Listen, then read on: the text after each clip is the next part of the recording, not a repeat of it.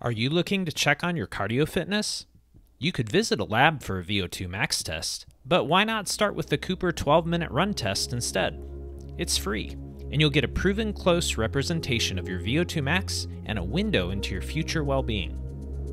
VO2 max tests measure your body's ability to take in oxygen, push it through the bloodstream to your muscles, and use it as energy for exercise. The higher your VO2 max or cardio fitness, the easier it is to tolerate long, intense exercise sessions. VO2 max is known for enhancing sports performance, but the more underrated payoff for cardio training is the effect it has on our health. A large scale study showed that athletic people in their 50s have a 96% or higher 10 year survival rate. How does this compare to people who don't exercise? The Cleveland Clinic found that 10 year survival rates for people in their 50s with poor fitness was a shockingly low 77%.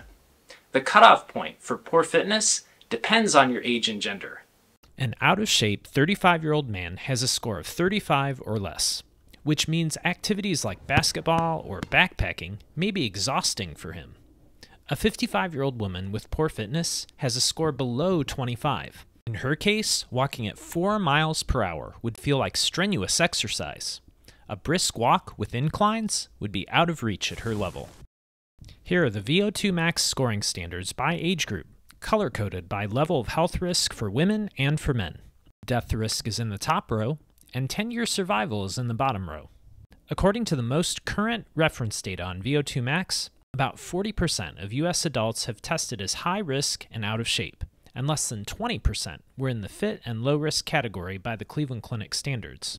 Where do you think you'll score? If you haven't been exercising or you have trouble jogging, the best starting point is the Rockport Walking Test. The Rockport Walking Test is a timed, uninterrupted one mile brisk walk on a flat surface.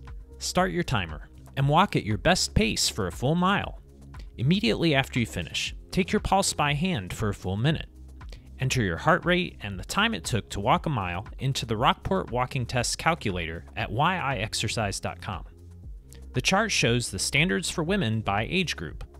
If you're 22 years old or younger, multiply the number you get from the calculator by 0.81 to get your score. Age group is in the left column, death risk and fitness rating are in the top rows, and 10 year survival is in the bottom row. The men's chart is oriented in the same way. If you're 22 or younger, multiply the number you get from the calculator by 0.85 to get your score. These scoring standards reflect more current and robust research on VO2 max. If you or a family member have trouble walking continuously for a mile, you could start by working toward a walking speed of 3 miles per hour for 6 minutes. This ability is a good baseline standard for maintaining independent living. 3 miles per hour for 6 minutes is equivalent to a VO2 max of 16.5, according to a 2010 Baylor study. A Canadian study found that women and men whose VO2 max fell below this range were likely to depend on others for their daily needs. If you can jog or run and your healthcare provider has cleared you for exercise testing, you have two excellent options for your VO2 max test. The 12 minute run has a sister test, the Cooper 1.5 mile run. Both are maximum effort tests. Hold a strong, constant effort through the test, and either way, you're going to get a close representation of your VO2 max. To measure the distance you cover on a flat surface in 12 minutes, you'll need to use either a fitness watch, treadmill, or track with the stopwatch. Treadmills make running easier, so to simulate outdoor running, set the treadmill at a 1% grade.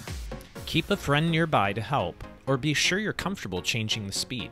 The treadmill won't slow down automatically if you tire and need to adjust your pace. Prepare your heart, lungs, and muscles for this maximum effort test with a 10 minute warm up of exercises, brisk walking or jogging, and brief stretches. Take care to start at a pace you can maintain throughout the test to get your best score. Your watch or treadmill will show the distance you cover in 12 minutes, which is your score.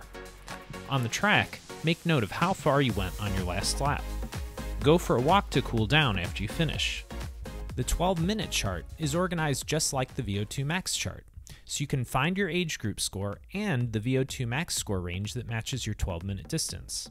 An online search will provide you with a calculator to get your exact VO2 max score. The Why I Exercise fitness calculators for personal use are coming soon. Here are women's charts based on miles and also kilometers if you use the metric system or a track. If you run your test on a track, you can convert the meters you ran to kilometers by putting a decimal between the first two digits. For example, 1700 meters is 1.7 kilometers. Next are the standards for men in miles and kilometers. Your results show exactly how much you need to improve if your score doesn't meet your goal. The color coding indicates your fitness level with the associated death risk and 10 year survival rate from middle age. If you run slower than 5 minutes per kilometer or 8 minutes per mile, you'll finish this test more quickly than the 1.5 mile run. With your best effort, you'll get equally accurate results with either test. For the 1.5 mile run, you need a timer or stopwatch, a flat measured distance of 1.5 miles, and your best effort. Take 10 minutes before the run to warm up with exercises, jogging, and brief stretches. You want your muscles, heart, and lungs prepared for a top effort. Try not to start too quickly. Your best result comes by keeping an even pace throughout the run. When you give your best effort, this is an excellent representation of your cardio fitness, proven to correlate closely with VO2 max lab testing. The age group standards for women are on this chart. One of the best advantages of the 1.5 mile run is that you can see exactly how much faster you need to go to reach your goal if your score is subpar. Test again to check your progress after a few months of training. Here's the men's chart. If you already run regularly, now you know the fitness level you need to maintain for optimal health benefits, as per current research. Refer to the VO2 max chart if you want to see the score range for your 1.5 mile finishing time. An online calculator search will give you your exact score. And keep an eye out for the Why I Exercise Fitness Calculator. Now that we have your test results, we need a reliable way forward, especially for anyone in the 77% 10 year survival group. People who don't exercise happen to be the ones who would benefit the most from becoming more active. 30 minutes of moderate exercise for 5 days per week would likely bump an out of shape person up to a level where the 10 year survival rate is 91%. It would only take a few months. A review of step counting studies uncovered what may be a perfect starting point. According to the review, people who don't exercise take an average of about 3,600 steps per day. It only takes a total of 5,800 steps, an extra 20 minute walk per day, for a sedentary person to join the group with a 40% lower risk of death. The Cleveland Clinic study showed that nearly everyone benefits from improving their conditioning, even people with excellent fitness. The survival data from their study comes from VO2 max testing plus 15 years of follow up with over 120,000 people. An improved VO2 max score also lowers the risk of diabetes and protects brain health by lowering risks of dementia and cognitive decline. A 2013 study found that training programs that include continuous vigorous workouts and high intensity interval training, especially 3 to 5 minute intervals, offer the fastest increases in cardio fitness. If you're not used to vigorous exercise, you can gradually replace segments of moderate exercise with short bouts of intense training to your tolerance. VO2 max is such a strong health indicator that the American Heart Association considers it a clinical vital sign. We will cover the fitness tests in more detail in upcoming videos. There are still many other ways to gain a health advantage through exercise. If you'd like to go more in depth with the health and performance advantages of your weight, body measurements, and muscle performance, please subscribe and continue the conversation with us at Why I Exercise. Then you won't miss any upcoming content on health, exercise, and fitness. See you next time.